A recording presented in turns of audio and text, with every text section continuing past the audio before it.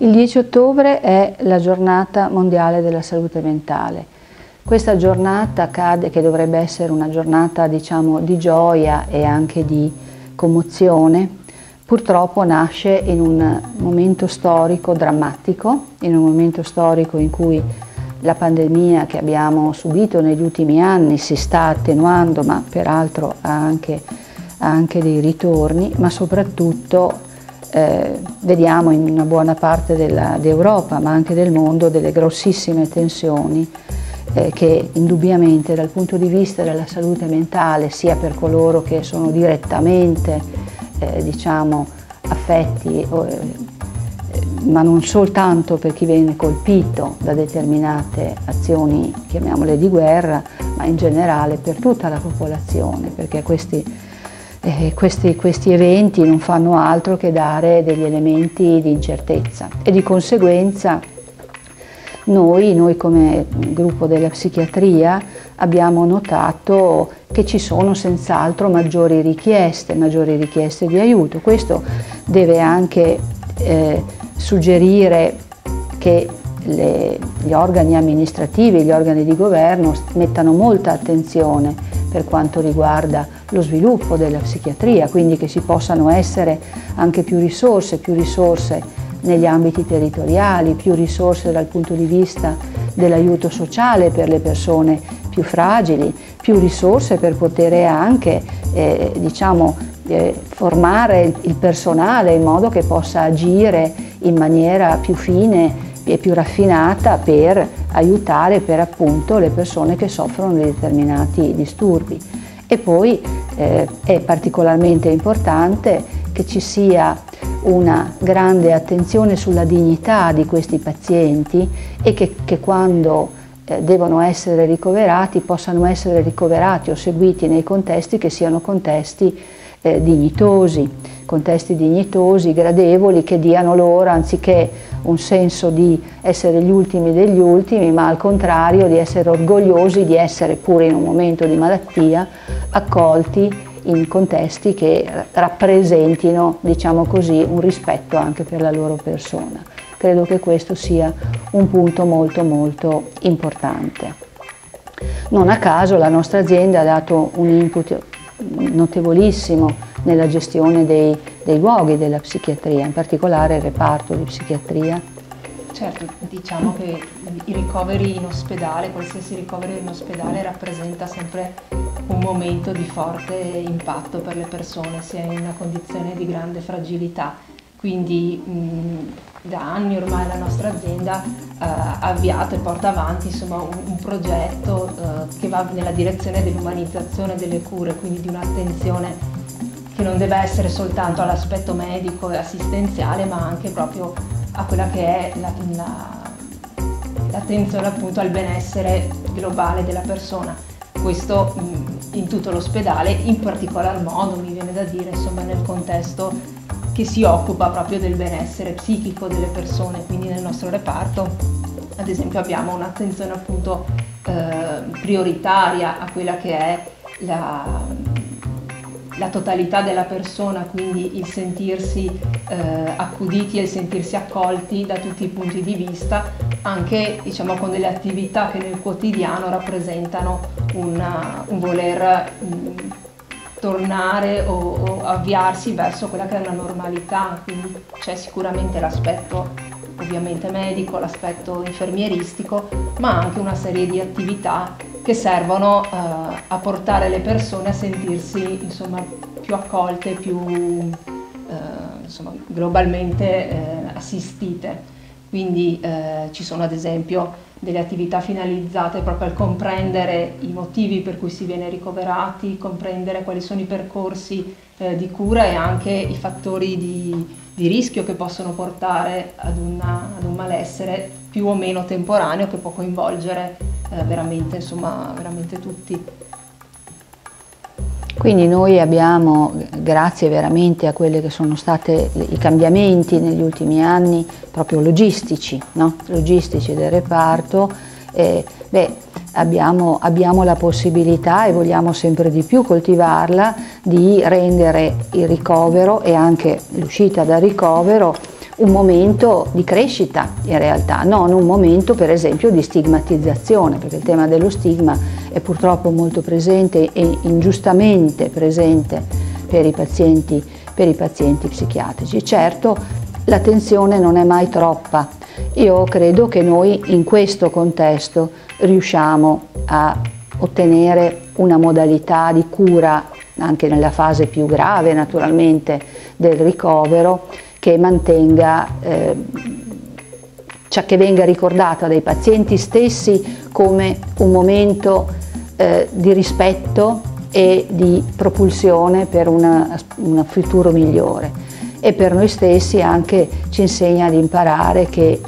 ogni persona ha qualcosa da dare e per ogni persona si può sempre tirar fuori il meglio di, di lei se lo vuoi fare, questo è importante. Questo è un altro discorso che è molto molto importante perché la, la salute mentale deve essere coltivata, non è che cresca, che cresca in un vaso, deve essere coltivata e in queste situazioni appunto di grande criticità a livello, a livello, mondiale è particolarmente importante riuscire a capire quali possono essere i fenomeni, gli aspetti protettivi oppure gli aspetti di rischio per la salute mentale. Quello che mi colpisce, noi stiamo in questo periodo, eh, il nostro servizio si sta, eh, in particolare tutto il mio gruppo, sta cercando di mettere la massima attenzione sulle tematiche dell'adolescenza. Gli adolescenti sono il futuro, abbiamo la fortuna di aver avuto una, un progetto che ci è stato dato dalla Regione Veneto, che è poi assegnato all'azienda ospedaliera ed è un progetto che mira a lavorare sull'adolescenza, sulle diverse fasce, fasce dell'adolescenza, partendo addirittura dalla prima, dalla prima infanzia. E quando facciamo questo discorso noi sappiamo che dobbiamo fin dall'inizio cominciare a pensare ai fattori protettivi, ad esempio. Molti dei fattori protettivi sono poco utilizzati e anche poco conosciuti. Per esempio, ne, ne leggo da qua tre o quattro che sono veramente molto banali. Dormire bene, gli adolescenti spesso hanno delle inversioni nel ritmo sonno-veglia e poi hanno anche delle problematiche nel momento in cui devono affrontare eh, il lavoro a scuola, eccetera. E poi la capacità, e questo è un altro degli aspetti di cui si è parlato già da 10-15 anni, una fare un'attività, fare un esercizio fisico, che è uno dei fattori protettivi del benessere. E poi cominciare ad essere, oppure anche ad avere l'aiuto di altri, del conoscere delle strategie, quali ad esempio quelle, le strategie di imparare a risolvere i problemi senza che questi problemi aumentino sempre di più, senza che l'avere determinati problemi e difficoltà non vada a, generare quella rabbia che spesso poi non viene riconosciuta e che spesso, nei giovani soprattutto, va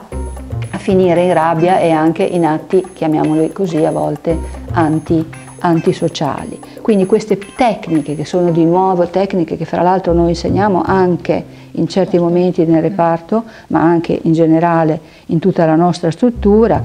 imparare a gestire bene i problemi, imparare a risolverli e poi coltivare le proprie skills, le proprie abilità, noi abbiamo imparato nel corso degli anni che ci sono dei pazienti che hanno delle abilità che rimangono sommerse, che non sempre loro stessi, ti ricordi, ci sono alcuni certo. casi che ci siamo ricordati. E, e allora è importante avere questa, questo tipo di logica, che non è altro che una logica di tipo preven preventiva. La prevenzione è uno degli aspetti meno utilizzati oggi come oggi e noi davvero di nuovo vogliamo essere Beh, figure che danno un contributo per attivare processi di prevenzione primaria, perché è dalla prevenzione primaria che poi puoi far sì che insorgano, che crescano eh, altre, altri aspetti e anche mh, mm, che si evitino quei percorsi più ospedalizzati oppure più, come posso dire, medicalizzati. Mm, di fatto, soprattutto nell'area dell'adolescenza, è importante che si diano le risorse ai ragazzi per poter vivere meglio, per poter avere una, una buona salute. E cosa sono invece i fattori che noi dobbiamo assolutamente andare a cercare e poi anche a toglierli, ad annientarli. Per esempio i contesti nei quali ci sono delle avversità, con cui ci sono delle criticità ambientali e cercare di limitare il più possibile queste, eh, queste diciamo, avversità o perlomeno di fronte a determinate avversità, come è stato anche il Covid, riuscire a dare degli strumenti, sempre questi strumenti cosiddetti di coping, per ridimensionare quella che è la, la, la, criticità. Ci sono dei dati della letteratura che ad esempio hanno dimostrato che semplicemente insegnando ai, ai, ai genitori di essere sereni anche nel momento del Covid, anche nel momento in cui non si poteva uscire di casa, rendere sereno il clima familiare, ha fatto sì che i bambini hanno avuto un input completamente diverso da quello che era l'effetto del Covid e questi bambini che nelle situazioni invece domestiche in cui c'era un allarme, una situazione di ansia, finivano con l'avere delle fobie, con essere spaventati, eccetera. Invece gli altri, se vedevano, e di nuovo è un altro aspetto semplice, molto semplice, se si trovavano in un clima familiare che la prendeva, prendeva questa situazione con una sorta di, non dico allegria, però con un'accettazione morbida, a quei bambini i problemi che sono stati poi successivamente rilevati non, non venivano. E questo è un altro aspetto, un altro aspetto importante. E poi c'è l'altro, di, di, termini ce ne sono altri ancora che noi possiamo andare a vedere come fattori di rischio, ma voglio in un qualche modo anche segnalare eh, altri aspetti che sono eh, oltre i fattori di rischio, per esempio la solidarietà sociale, quello che gli inglesi chiamano social capital, la capacità di essere solidali e questo vale per le persone che non hanno disturbi psichici, ma vale anche per il contesto sociale in toto. Quali sono le cose da attenzionare in questo periodo storico? Beh, c'è un ambito che dà